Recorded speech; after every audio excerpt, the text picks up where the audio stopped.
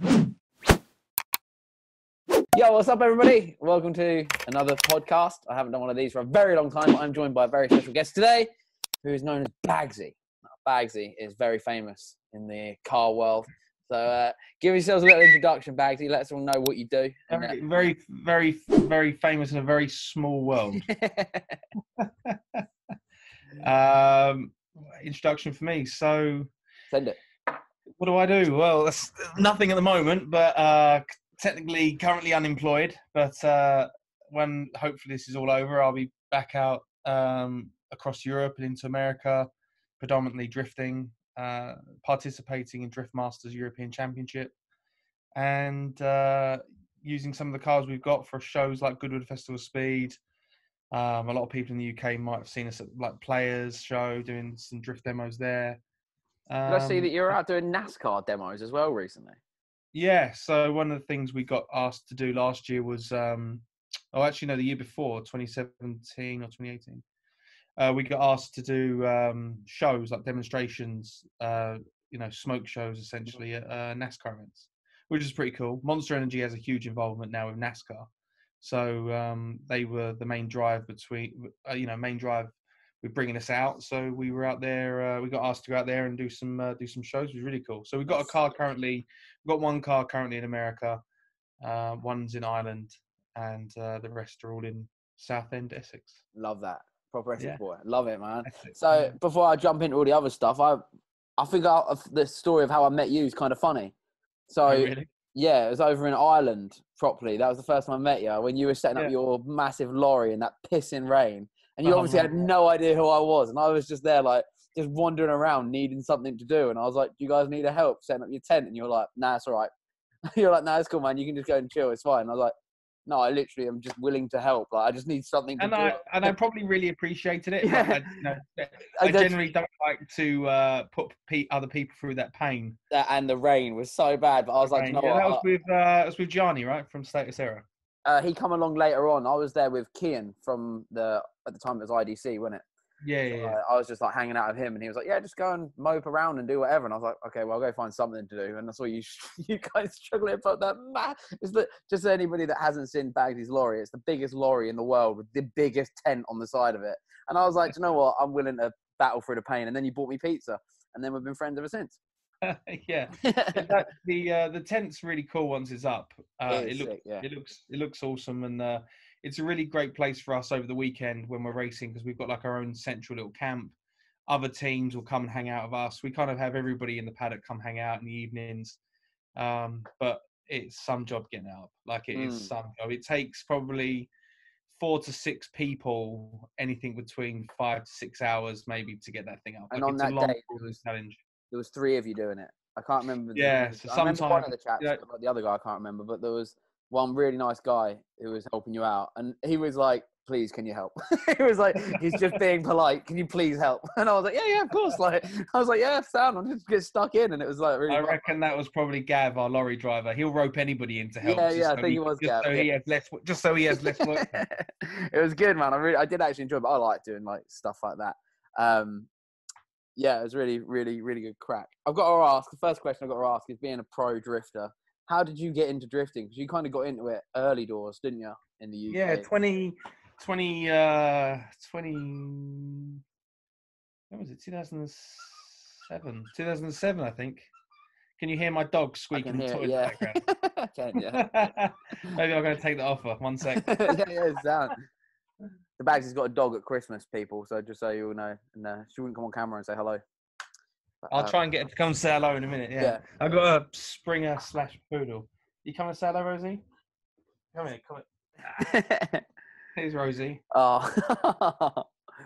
oh, This Rosie, great. she's uh, had her since Christmas. She was tiny. She was only a little puppy when we got her, and uh, now she's got massive, like eight kilos. full grown puppy. Um, I thought getting a poodle, it would somehow stay a little bit smaller than she is. Springer part of her has uh, fully come out, but uh, That's brilliant. yeah. So 2007, really. Yeah, I just saw drifting online, and uh, I saw it live at like a car meet, like in a car park in somewhere, probably Lakeside or somewhere, and uh, I just saw some guys doing donuts, and I was like, man, that is way cooler than spinning around in my Fiesta on the handbrake all the time, and uh, yeah, I just thought you know that looked like a lot of fun. I wanted to get it. I wanted to have a go. I've done a little bit of I've done a little bit of racing when I was younger with dad, uh, just like go karting and motocross and stuff. Mhm. And um, yeah, from there I learned basic stuff: donuts, figure of eights, all that cool, you know, cool stuff when you're a kid. And then uh, friends, um, friends had gone to you know go and do some events at like Santa Pod and stuff. There was like drift days on. You could go and like have a practice at. So I just kind of went along to that, and then from there, um, this championship was just starting, and it was called like the BDC, the British Drifting Championship. But there'd been other things before that that had been kind of really, really grassroots, and uh, the BDC was like you know a little bit, you know, a little bit more professional. So I decided to kind of at least have a go at doing a few rounds, and uh, yeah, it went, it worked out pretty good. And then ever since then, um, yeah, I've just been I've been doing as much drifting as I could. Do you have any uh, fond memories of any street o incidences that you probably couldn't talk about until now? until now.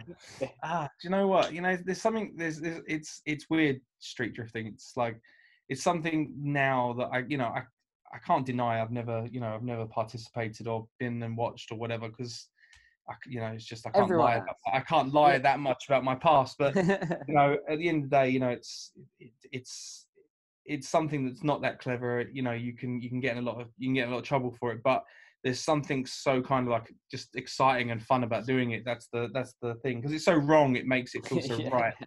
And uh, memories. I don't know, man. It's just I suppose when you've been out and like all the boys come out and you're you know having a good laugh and you get left alone by the police for the whole night and it's it's just a lot of fun. And uh, you know you- know then you know other other cars will arrive and it just becomes like like a bit of a cult gathering you know like a car cruise yeah, yeah. full of full of everybody you know everybody in the scenes there and the police don't arrive and it's just a fun chilled night out. It's kind of like that but with just street drifting you know what i mean? And no Yeah, one crashes and no one breaks down. It's just a lot of fun. So that's kind of i suppose over the years you know that was that was kind of at the start a you know huge part of my you know learning to drive and learning to drift sort of um you know and that's kind of what built it for me and then i realized that you know i could do it not on the street and actually go and do it somewhere safe and legal Yeah, I think once you get into the safe and legal stuff as well, and you realize how much faster you can go and how much more you can push it before you wreck your car, and like it, that's when the real adrenaline starts to kick in. I feel like, like I can't lie, I I had a massive wreck when on my first ever night out in my E36 when I first got it. Like, like I proper binned it, and it was like it was bad. it was like one of those ones where you're like, oh, dear, like yeah but you live and learn from it and like i you know you have a laugh um and i'm just lucky i didn't hurt myself basically but uh Yeah. you know like I, was- I, ri- I ripped the sump off of a Volvo 340 one night.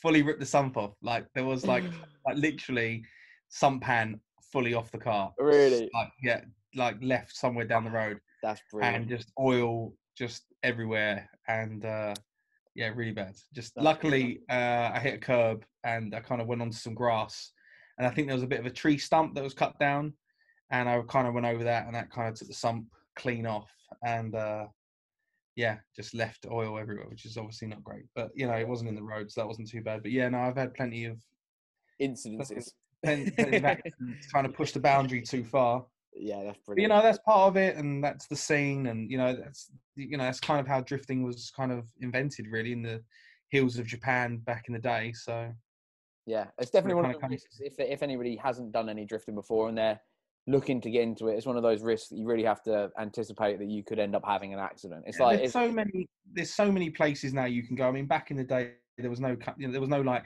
driftland. There was no Mm. You know there wasn't drifting practice days anywhere really, other than kind of like one a month at Santa Pod or something. And um, now there's you know loads of places are doing like drift practice days. Um, I mean now, I mean there is you know, admittedly there is fewer now than there probably was a couple of years ago. Mm. You know, because we lost Rockingham and all those sorts Yeah. of facilities. Although I think Rockingham is now back up and maybe doing some drift days. I think they're Out of again. Like they, they were like learn to drift, got the rights to it, and I actually went to Yeah. one. I blew my gearbox Okay. up and crashed my S15 on the same day. So it was brilliant. it's great. um, but uh, that, that it was really fun. It was a great little day. But they that Vauxhall have bought the skid pan now. I think. Oh, really? They're just going to use it to store cars on because they can't sell them because all their cars are shit. So like that's why basically I think the reason is yeah. Brilliant. Uh, Yeah. Well, you know, there was so you know, there, even now there is still way more opportunity to learn to drift legally and safely than there is the need for doing it on the road. Probably, you Well, know? especially So- when you started, man. Like 2007, there must have been nowhere. The funniest thing is about when we used to go out street drifting back in 2007 as well is that the cops didn't even know what drifting was. Right. Okay. The police literally were like, "Can you tell?" Like, if you drove off and they came and spoke to like people standing on the side of the road just having a watch, they literally just say, "Can you tell your mate to stop dicking about putting the handbrake up, going around the corner every five seconds?" Right. Okay. And either, and, and it was either literally we, we were that bad at the time that we couldn't drift and we were trying to just figure it out. It looked like we were just like like just handbraking everywhere around the corner, or the police just had no idea what we were actually doing. So, um, but yeah, That's no, there's so many places now you can go and learn and you know do it safely and legally that you know it's probably a much better idea to do that. what was your first drift car? Like, what was the first car that you got that you were like, yeah, I'm gonna, this is it. This is, I'm First gonna do. it. I'm gonna learn. The first car I owned that was a drift car, Yeah.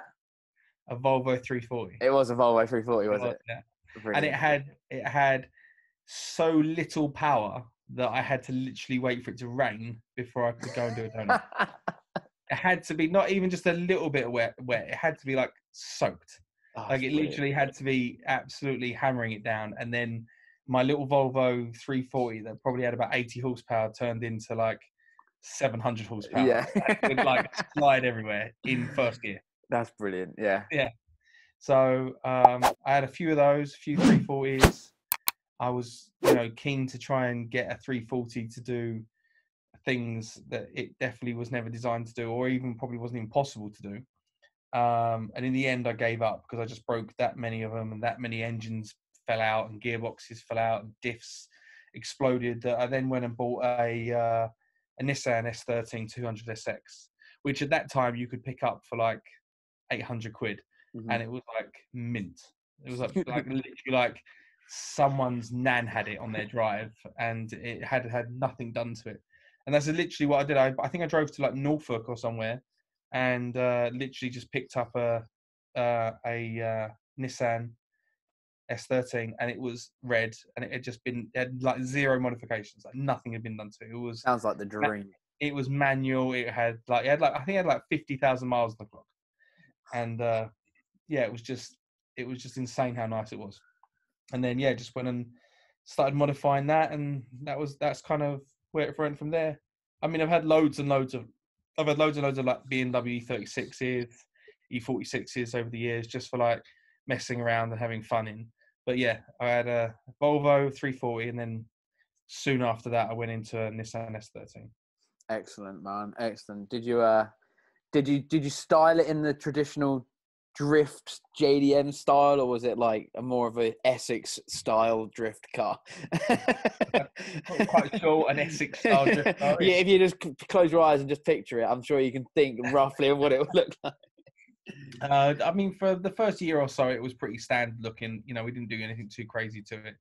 Um, I was just doing sort of practice days in it, and uh, the second year I had it, when we when we decided to do the BDC, the British Drift Championship, like I got a, like a, I got like a um, Chargespeed uh, body kit for it. Mhm. Um, got a few other bits and pieces, got some wheels and you know all that sort of stuff. And then, uh, but even then, it was still kind of like a stock car. Didn't really do much to it. Changed the engine because I blew the engine up on it. Uh, had like a really bad 1A, uh, 1.8 CA engine in it. Um, and then I put like a two liter SR20 in it, so that that was a bit better. And then um, yeah, from there it was that was that was basically it for a long time, really. Just the body kit, some wheels, and a little bit more horsepower. Yeah. So what's your current lineup of, of drift cars? Because I know you've got the GTR, obviously. Yeah, so the, the the main car, obviously, I guess that most people know about that we've got is obviously the GTR. Um, we've got a S14A, which is kind of like my little street car. Mhm. Uh, that's just still a SR20. Uh, that's on air. Um, that's Rotary just forms like as well, right? rotiforms, yeah, like stance in the box sort of car. Mhm. Yeah, literally just bought some air, got some wheels, and uh, kind of just had it on the road. It was just like my little fun toy. Um, and then my actual sort of competition cars, I've got a PS13 Mhm. Um, and an S13. I don't know if I've seen the S13. So the S13 is the one that's in America. Right. Okay. Okay. The I've definitely S13 seen the. one. I've definitely seen the GTR and the PS. Yeah. Uh, and the Yes, S14. the but- S13, yes, the S13. Um, we done a load of we done a load of upgrades to it, a load of work to it end of last year, and then um, we shipped it out to America. Do you have a favourite out of the cars? Like, if you, if I was to say to you, Bags, you were going drifting tomorrow, which one would you grab the keys for? Depends, I guess, on what we were doing. Like if we were just messing around and I was Just just, a, just a drift day, just a normal, then I'd bring the drift. GTR. the GTR. Yeah, hundred percent. Yeah. All right. cool. It's it's it's it's honestly the most fun car to drive. Um, just because it has so much power, it's stupid to drive it. It has, you know, it's it's almost got so much power that um, I need to get way bigger tires for it to make it Right. work properly. In it, to make it work properly in competition, if I was ever to use the GTR in competition, we just need to get like I don't know three five fives or something on the back of it to really get it to hook up. Um, it's got so much power that it just it just yeah just every gear it just annihilates the tires and it ends up not going far fast enough forward it kind of makes so much wheel speed that it kind of doesn't get going if that makes any sense it's Mhm. kind of just spinning the wheels. Um and it's yeah it's just retardedly fun. It's really i, I really enjoy driving it because it's easy to drive it's comfortable it drives really nice. Um if we were going to do like a competition or whatever i'd probably take the ps13 it's way lighter um it's way more grippy it you know it bites up real quick and it goes. And uh you know it's not got as much horsepower as a gtr but it's because it's powered because its power to weight ratio is way more it, it feels way more it feels almost more aggressive sometimes than the gtr I've just realised I do know your S13. That was the one I first met you with. That was the car you had at that event. I've just remembered it. Like, it's, yeah, I, I, I have seen it, so I'm, I'm being Yeah, dumb yeah. there. Um, I have to ask because, like, as a as a uh, just a little basic bitch YouTuber that tries his best with a little where is my camera? This absolute bag of shit little thing here, trying to make fun, entertaining content on this broken old thing. Like, what is it like? bought, I, just, I just bought one of those cameras yeah, they're amazing. Honestly, I call it a bag of shit because I've it's had like I've I think I've filmed over twelve thousand clips on it, and it's been with me for like three years now, and it's just just fucked. like No, it just just- shouldn't still be alive. I've dropped it more times than I fell over myself. So like it's like a poor old camera, but it's fantastic. Just literally just bought a Sony 6400 Oh, okay. just to just to film some stuff on the road. We were Yeah, using yeah. GoPros before and iPhones and stuff, and it was just getting a bit. Yeah, they're they're much better for that sort of stuff. I like these more than SLRs for vlogging and stuff because you can just chuck it in your pocket. But um, Yeah. obviously, do you, does Ricky still do your stuff, your videos? And Ricky stuff? does like our big projects. Yeah, So yeah. like so for instance, Ricky filmed Ricky filmed uh, Return to Driftenberg last year, Mhm. um, and a few other bits and pieces. But Ricky's now solely working mainly for like players. So Oh, Ricky's okay. doing day to day stuff with players. Uh, he's also doing a lot of freelance stuff with Monster. Okay, and cool. then as and when we get like a big project, we can bring Rick back in to Yeah. kind of handle that. So I was going to ask, what is it like to be the star of one of those massive productions? Like when you and um, Daigo were doing the drifting on the dock. Is it you know that that dock Yeah, thing yeah. How, Yeah. What is that like to have like free reign of like that sort of yeah yeah battle drift? That's what it's got. Like, like to have your cars there and know you can just go and dick about in this like place. But is it like sta like almost staged? Do you have like choreographed? Like right, we're gonna go in here and do this and then get that shot and then move on, or is it just guys go drift and then you know? So the original question, I suppose, is what was it like, Yeah, what's it like? or Yeah. what is it like? I suppose, and I tell you, it's it's really stressful. Oh, is It's it? really, Okay. It really, really stressful. Yeah. Um, the main reason the GTR was actually built was for that video. So the me okay. and I, so, so Monster Energy came to us and said we want to do this video, Battle Drift Two, because Battle Drift One was filmed in Japan with Daigo and another driver called Vaughan Gittin Jr. Mhm. And then they decided to film Battle Drift Two, um, which uh, they wanted to use Daigo again, and they wanted to bring to Europe. Um, so they asked me to do it. But I knew Daigo was going to use the Lambo because he's got a Lamborghini drift car in the video. It's a Murcielago. And I was like, yeah, exactly. So I was like, I, so I, I can't use my S13 because it just it's just gonna it's just not gonna shape up. You know what I mean? Like I, it's just not gonna. I need to I need to level up my game to compete with this Lamborghini in this video project. So I went to um, all of our partners and sort of suggested, you know, let's build a Nissan GTR drift car, you know, and uh, it's going to level us all up. We're all going to get good opportunity out of this video and um, all the stuff that will happen. And uh, yeah, we we managed to make it happen. But um, funny enough, that video Battle Drift Two that we filmed was actually filmed in Sheerness. Really? Yeah, it's in Sheerness. The, the dock of Sheerness. Yeah.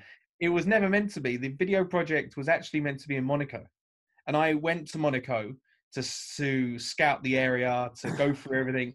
We met the we met the government um, in Monaco. We met the uh, chief of police for closing all the roads and doing it all. It was going to happen in between Formula One and Formula E. There's a week between. There's like three or four days in between F1 and Formula E where all the trucks leave for one race and all the new trucks arrive, all the new cars the next race. So there's like a couple of days in between. So we had the opportunity of where all the roads are painted. We've got all the, you know, all the marshals points are all out. Like Yeah, yeah. Monaco's basically closed down for like two weeks and two races. So it was perfect opportunity to do it. And um, unfortunately, at the time there was a there was a terrorist attack in France. It was when the transit drove through all those people. Mhm. Um, so the the police in Monaco kind of just said, look, you know, we've got enough going on with security that we can't really allow you to do the video project. So that was kind of a massive bummer for us because we had put all the planning in. Daigo's car was already on the way from Japan. The video the video team that was shooting the video were you know were already some of them had already been over and back to shoot to sort of uh, do the recce with us. So it was a bit of a nightmare. So in the end, we had to scrap Monaco, and we ended up in a dock in Sheerness. But it it, worked out turned pretty out cool. brilliant. Yeah. Well, the, the, I say a dock in Sheerness. They had also filmed uh, some scenes of Pirates of the Caribbean at this dock in Oh, Sheerness. wow, Like, wow. there's- this dock's really famous for loads of things that you would never imagine. So That's it sounds crazy. it doesn't sound that great when you say, yeah, we filmed in Sheerness, but it worked out really well. And um, yeah, going back to the original question, w- being on set on something that big is stressful, um, especially when everyone's asking you to do something. And you know, you've got the director normally on your headset telling you what he wants you to wants you to do, and you it is very much choreographed. They'll be they'll break it down into sort of tiny little segments. Mhm. So we'll basically just drift around like one obstacle, like and uh, or we'll do one scene which will be maybe five seconds, ten seconds of fit like of us driving. So it'll literally just be like two turns, like what what drive around the turns, stop, go back to the start, and then we'll get told, yep, great, cameras will change positions, go and do it again. Great, go and do it. And then like literally, and then we'll go back to the start line, they'll go, cool, cameras change positions, and now we've got another option. So maybe they'll do like an above shot, then a left shot, then a right mm-hmm. shot, then they'll have a chase car shot, then they'll have mini cams on the car, then they'll have mini cams in the car.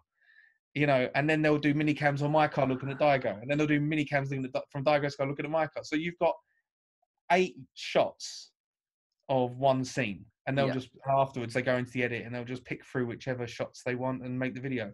Yeah. And uh, you know, it's stressful because things will happen with the cars. You know, like Daigo's car did a clutch, uh, so it damaged the clutch, and he didn't have a spare clutch with him, so we had to find a clutch in the UK quick, in, you know, while he was getting out to replace it.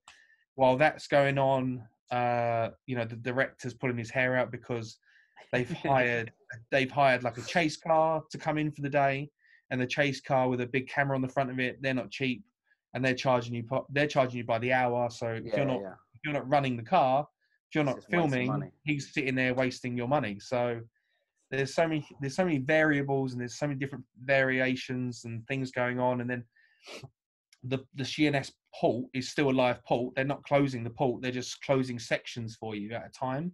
So like there'll be lorries waiting to move while you're filming, and then the second you stop filming, the lorries want to come through. So yeah, it's uh, it's it's stressful. And then you know, on, on top of that, you've got to make sure your you know your your driving's on point because you know you want to make sure that You look at the video as good as it could be, and you want to make sure the directors you know get the shots that they want. And uh, yeah, it, it's you know there's a lot of people. You know there was there was like 15 or 20 people just from production for the filming part. Then you've got health and safety. Then you've got safety coordinator, fire fire fire brigade were there with a fire engine. Ambulance is there with an ambulance. So paramedic was uh, one paramedic was there. I think we had a paramedic and two uh, like technicians. Uh, then a load of people from Monster Energy were there. So yeah, it's uh, representation of from the port. They're there, you know. So there was probably like 50 people on set for that one video, and, then my, and then my team of guys, which was like there was five of us running the car. Yeah, it's just, it's yeah. There's a lot. There's a lot going on, and like you know, there's 50 people there, and 25 of them want to all talk to you at the same time. So, That's just a normal day in the life of Baggsy, though, surely. yeah, exactly. um, I, I'm a bit of an eagle eye when it comes to these sort of things. Did you, did your car have anything to do with smashing his headlight? yeah. It did, did it? um, what happened? Yeah, so he he uh so again, because we built the car for the filming, um we had by the time we got everything sorted, we had three months to build that car. We had we literally got the car and we had three months to put that car together. You know, and it wasn't just like uh, put a roll cage and a body kit on. It was full stripped down. Chassis went off to be um, acid dipped it came back to us so as a bare shell like bare as in like no paint no seam sealer no sound deadening nothing like bare metal Mhm. put the and, and we had to build it from there and not only did we build it from there we decided to change the engine we didn't want to run the v6 anymore that gtr has we wanted a v8 uh, we wanted to then put a turbo on it because we wanted to make stupid power so all this stuff had Mm. to be fabricated I had to. I my job really was to coordinate parts. So I had to get all the parts. So like you know, dealing with getting wheels, getting the body kit from Japan. The wheels came from America. Mhm. Uh, suspension was from Germany. You know, like parts were coming. You know, all sorts of places. Canada, we were getting some bits from as well. Um, so I was trying to coordinate all this in three months. So basically, when we were filming, of course, the car was never. We didn't even get a chance to test it. So the car was having a few issues and I think the car cut out, and then Daigo just came up behind me and sadly hit me a little bit. oh, okay. Yeah. So it was it wasn't his fault; it was more my fault, to be honest. So Yeah. It's one of the risks of drifting, though, isn't it? Like that. uh, That's like what you kind of have to take on the chin. Like it's just one of those things that might happen. Like that wasn't even the worst part that happened in that filming. The worst part was uh, we were filming one of the last scenes, and there was like this access road into the port. So we were drifting this access road, and uh, they'd swept the road up to like get all the debris off of it, and they swept all this debris into like one big pile. so we came drifting through, and and I hit this debris that they'd swept into one big pile, and kind of got got the car a bit loose on it, and ended up going kind of up and over a curb. So I had like the car kind of balancing sort of itself on the curb, and then I got it back onto the road and carried on drifting. It was like all in like one motion, like with about, at about 40 mile an hour. yeah, yeah. But as I'd gone through this debris and kind of went up over the curb a little bit, dipped a wheel into some like gravel, I managed to spray all these parked cars that were brand new that had just come off a boat and just completely destroy about 15 vehicles. Like Oh when I say destroy, we smashed windscreens, we smashed windows, we sm- smothered them in stones. Oh, you know, like honestly yeah it was, it was a it was a it was a very bad time at that point it's a, there's a um, there's a video on youtube on my youtube account on my youtube channel um and uh i kind of we had some we we actually showed some footage of the cars as well Oh, I'm gonna have to check that out after we Yeah. finish talking. Like that, I'm That's not gonna lie. That that that. Did you laugh to yourself like a little bit? At I first I would. didn't, at first i was like what's happened because like everybody was looking around like panicking and I, didn't know, and I kind of didn't really know i didn't really know what the i didn't really know what was going on i was like that was good right that was a good shot like that could that looked cool like car's not damaged i'm good Daigo's all right Yeah. And I said to Daigo, I was like, "What's up?" He- You know, and like, "You're you're right?" And he, you know, he doesn't really speak much English. Uh, he was just like, "Okay," and I was like, "Right." "So," uh, but then I found out that yeah, we'd there was about fifteen cars that yeah got wrecked, and the port manager. oh. Luckily, it was, luckily it was kind of like the, one of the last shots because we were. I think we were going to get told to leave at that point anyway. Oh, that's brilliant. Um, was yeah bad, but luckily, you know, for our, you know, luckily, you know, there was insurance and yeah. that all that all got taken care of. Oh, that's brilliant. That's that's so cool. What a cool story to tell. Like that's so good. It Um, wasn't cool. It wasn't cool at the time. There was a lot of very upset people. But oh, but looking back fun. now, uh, you know, shit happens, doesn't it? So whatever. Bit of banter in it. I don't know about a bit of banter, but it was certainly something. And uh, yeah, That's so good. Um, So with with uh, your experiences doing, because you've kind of had like the full range. Like, you you're like an an actual monster athlete, right? You you could call yourself like an actual like monster. As he sits here drinking a beer, yeah. It's bit- Um, yeah, but you've got a monster jacket on. You got see you've got your monster hat on. And am I right in saying you can't buy monster hats? Like you get given those as like yeah, yeah. No, they're made by they're they're made by like New Era. yeah. Uh, you can see the logo on the side. Yeah, you can't buy them. Same as same as other you know same as other brands. Uh, they they'll make hats maybe for like staff Yeah, yeah, or, ambas- or ambassadors or Mm-hmm. athletes, whatever. And um, they're meant you know you you can't purchase certain ones, and this is one of the, you know the ones they give us are the ones that are meant to represent people that represent the brand. Yeah, because one of my You friends is the um is a mountain biker, uh, Sam Pilgrim, and he's a monster athlete as well. So he gets all Yeah, the cool monster know Sam, yeah, he's a apparel and dude. stuff. Yeah, he is a good dude. Yeah. He's funny, man. Like, um, but he comes on, like, always turns up in like a new monster jacket or something. I'm like, mate, that's so cool. He was like, yep, yep, I know. I'm like, yeah, yeah, it's sick. yeah, they don't. They don't um, like they'll do collabs. So like Monster, I think did like a collab um, with like NASCAR, and you might be able to buy like a NASCAR collab Monster Energy jacket or hat or whatever. Or um, like for instance, like you know some other drivers like Ken Block will do like his own range of gear, like Hoonigan gear or whatever, and that Yeah, will yeah. include Monster branding and stuff. But yeah, officially they have like athlete clothing and athlete hats and bits and pieces they give to the majority of you know representatives of their brand basically Do you have a fondest memory of an event or an uh, like one of these productions you've done with Monster? Is there like one thing that you that stands out that you did with them, and you're like, wow, that was just the best thing ever? Because you must have done a lot, like the the opportunities you've been given. I thought I'd put you on the spot and uh, ask you a question that might be quite hard. I suppose um i suppose i guess uh my favorite one would probably be when we got to, we got the opportunity to film we got the opportunity to film in the first ever series of the grand tour Mm-hmm. Yep, I I, got that. to teach uh, i got to teach richard hammond to drift it Yeah. was like the last episode of the first series Were you with uh, Conor as well? Was he? Yeah, so Conor Yeah. Shanahan, me, and uh, one other Polish driver. Um, and it was like, well, I, I wasn't really in the competition. Um, I was kind of Richard's sort of mentor or teacher Yeah, yeah, or whatever, letting him use my car, and he was in a competition. Um, and uh, yeah, that was a lot of fun. That was that was three or four days filming in France, and then two or three private days over at Rockingham, and then the actual program was filmed at Rockingham, and that was a lot of fun. Um, getting to film with that. Um, you know, they're a really good, really good production company, and they really, really went full out to like look after us and stuff, and we had a really good time. And Richard was nice to work with, and uh, yeah, getting to getting to maybe work on that show was a lot of fun. That was probably like a big highlight for us, something like that. Cool, man. That's that. That's I forgot you did that. That that must have been amazing. Is Richard Hammond Yeah, really yeah. nice? Yeah, he's a good dude. You know, the, the the thing is, you know, especially with working with Richard, it was one of the first things he said to me was um, what a lot of people probably don't realize is, is that the only part, the only you know, the only bits of driving the car that you'll see me do is the bits I'm doing. You know, like all the glamorous shots that you see, kind of like put in while he's talking Yeah, yeah, of like a car float. You know, if you can't see Richard in the car driving, chances are he's not driving. Oh right. You know what I mean? Like, so they don't. They, they, they. Richard's time is so, I guess, valuable to them uh, when he's in the car talking.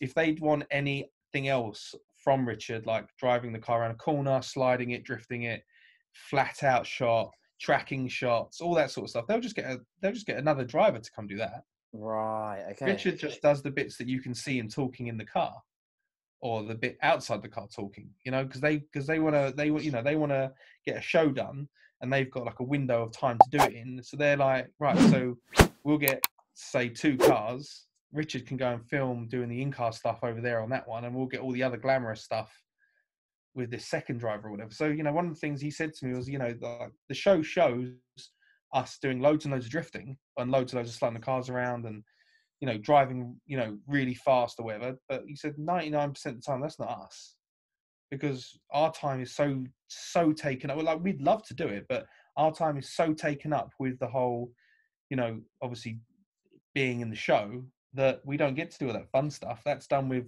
that's done with another crew and another driver when I'm off doing something else. Mm. You know what I mean? Like so, you know, I had to. We we kind of almost went back to the start with like sliding a car and drifting. I mean, he had an under, he obviously had an understanding because he's been driving a very long time and a lot of really cool cars, but he had no real experience in like handling handling Yeah. a car. you know How I mean? So- interesting. yeah. Yeah so like you know trying to get him to you know remember to put the clutch in and pull the handbrake up and you know getting him to get you know power over or you know getting him to change direction like from one angle to the next angle and stuff like that. We had to go through all that sort of stuff. And uh, he he was really serious about it. He wanted to take it like you know take it really seriously and really get everything out of this opportunity that he had to learn how to do this because you know, he might want to go and mess around in a car for a couple of hours, but production company would be like, no, we need you over here talking to this camera, bro. Yeah. You know what I okay. mean? Like, yeah, you, you need to do the talking part. Like, we can get load of B roll with Yeah. somebody else that's way cheaper. We can get the fun stuff. Yeah. Yeah. Yeah, we, we can get all the B roll with that other guy there that charges us charges us like 250 quid a day when you're however many thousands, I guess. But yeah. Yeah. no, it's like, but not even the not even that. It's more of a case of like they just need Richard for all the talking parts, and that takes up all the day of filming. That's so. That's so interesting. I never even thought of that. You know. That's Yeah, something that's yeah, never even crossed my mind. Yeah, so How that was the interesting. thing. Like, so yeah, so he was like, you know, it was really cool. Like, it was really humbling to hear him from him, like saying to me, "I need you to teach me how to do." it." And I was like, "What do you mean you need me to teach you how to do this?" Like, I assumed you could To do could it. do Yeah. Like, no, I, need, I need, I don't want to, I don't want to look bad on TV as well. So I need to be good at this. Yeah, have you ever, are um, expecting me to be able to do this? Oh, I see. Have you um have you had any more drift encounters or any encounters really? Any more famous people like that that like you either Uh, done some driving with or had to associate with in some form of? So I've done, uh, I've done. So it's now so my third TV show, my third TV show with Idris Elba Oh comes yeah, yeah. out comes out on Monday. Okay, so cool. um, we I met Idris Elba about four years ago, and we did a show called King of Speed. Uh-huh. Uh, no, that's wrong. Sorry, I did a show called Idris Elba No Limits. No limits. Then it? we did a show. Then we did a show in about a year later called Idris Elba King of Speed. King of Speed. Yeah. And then um, we've just done a show called uh, Elba versus Block, Okay. which I is Idris Elba some of this versus Ken. Block. So that comes out on Monday, um, which is on a which is on a new platform called Quibi. Quibi.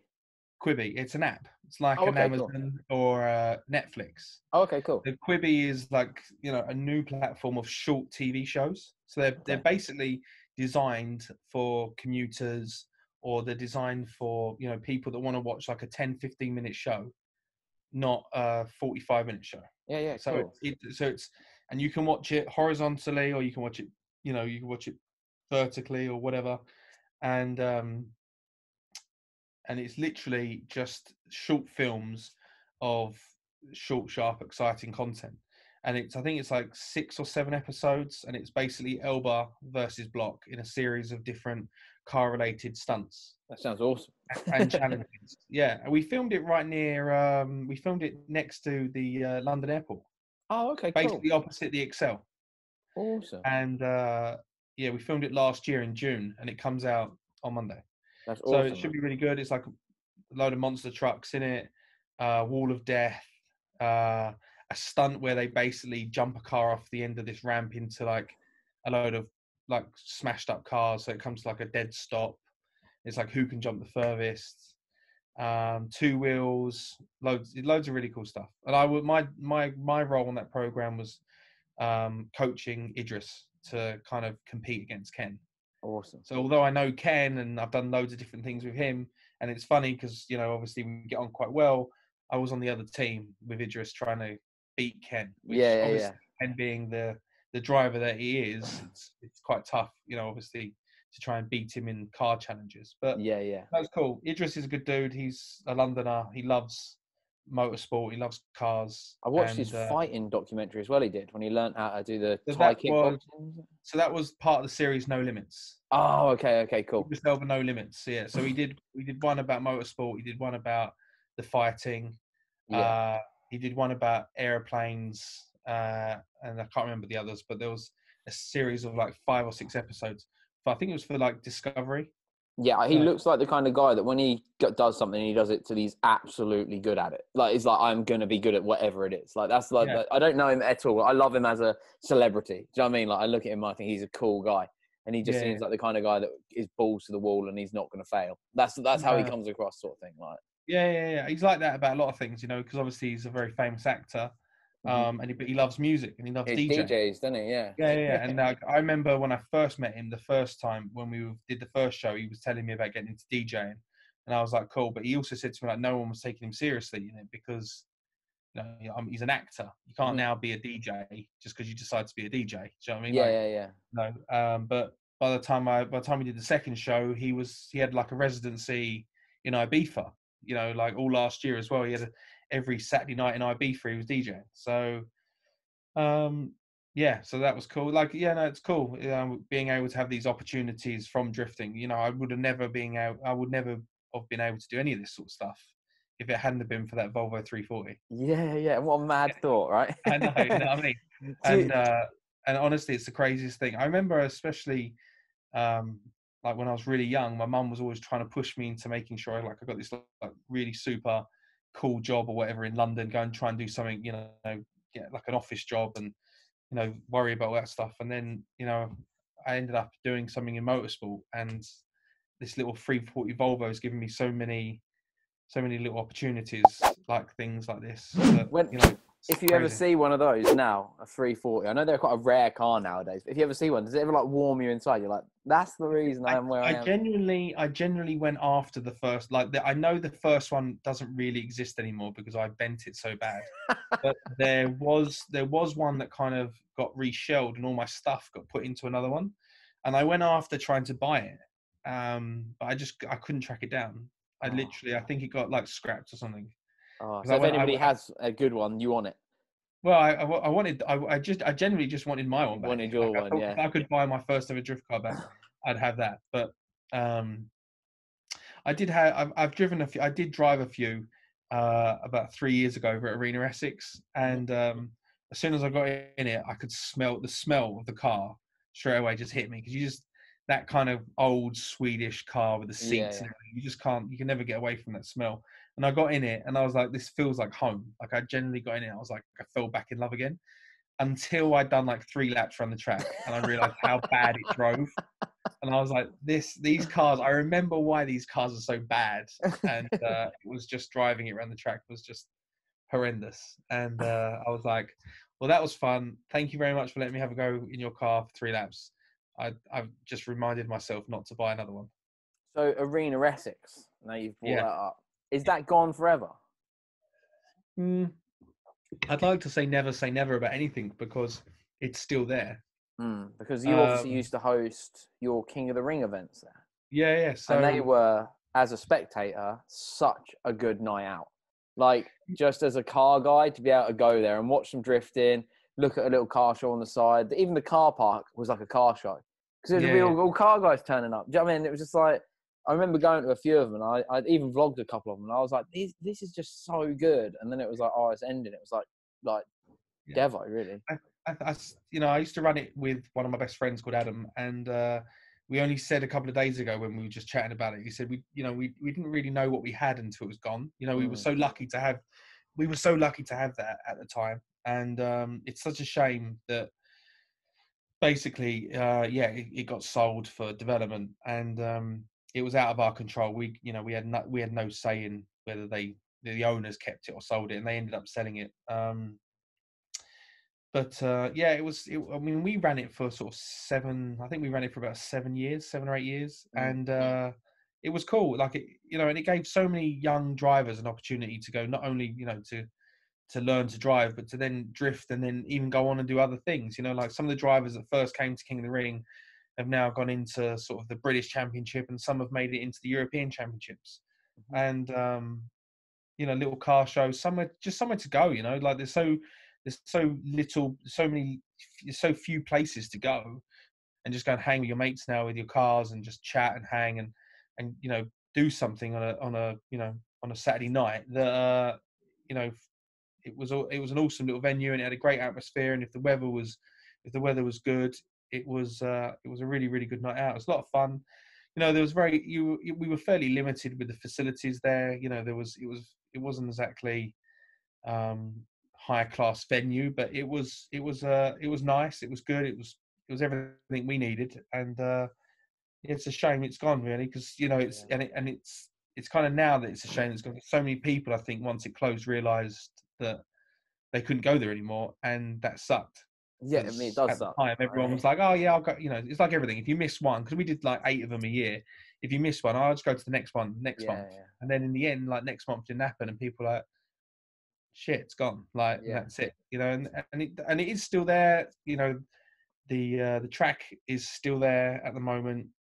They just, as far as I understand, they're just using it at the moment for storage. There's, I don't think there's any planning gone through for the site.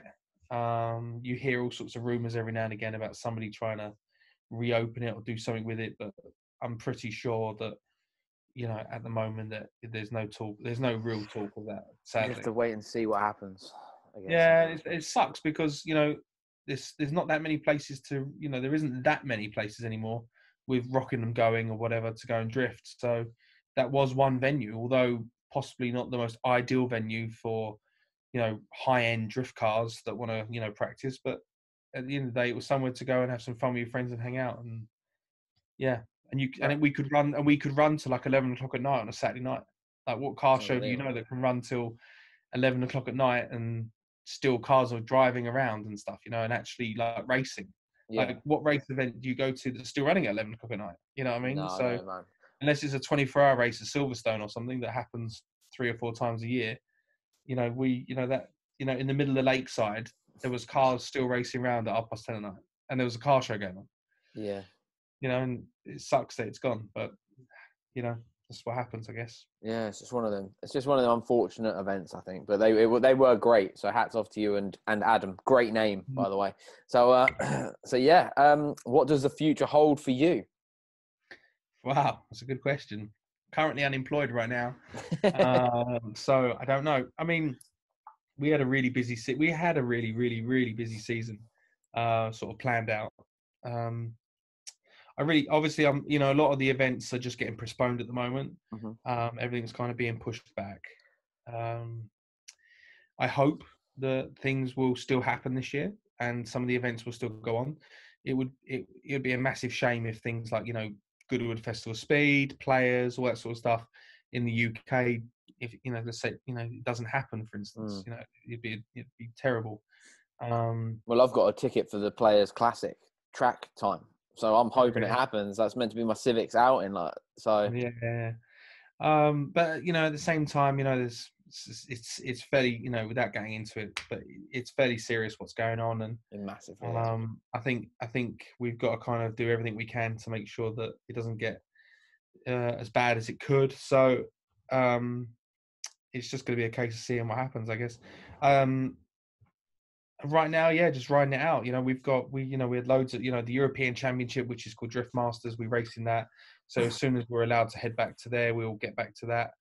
Um you know we do we got some more events this year in america um but again you know even sema you know it's trying to figure out whether that's going to happen because you Mm. know there's so many so many variables and so many things that you know we don't know what's going to happen so it's as i said at the moment all we know is everything is still happening it's just getting pushed back um we'll just see how far it gets pushed back before we end up in 2021 Yeah. Do you enjoy like the the SEMA shows and like the stuff where you're more of an ex exhibitor? Because like I saw you at Autosport last year, I think it was, wasn't it? Like I come and hung out with you for a little bit on your on your booth. Like, do you enjoy those events or? Because they're Yeah, long, I mean, aren't they? Some of them, like three, four days. It's a, like maybe five. Is it SEMA like a five day thing? Because you have to do the so? SEMA is a four day show four days. um yeah seems a four day show we're on, i'm only there I, I mean I, I enjoy SEMA because it's in las vegas Yeah, so it's hard not it- to like it, isn't it? it's, it's, an easy one to it's an easy one to go enjoy that you know everybody everybody that i know uh, in the car industry generally um is there at SEMA, so it's good to go and see everybody. You know, we go and catch up on what's happened throughout the year, talk about next season and what we're doing with you know various different deals that we have in place. Um, Autosport is a little bit different. Yeah, we sometimes have a car on display. Um, when you saw it this year, we had a car in the live action arena.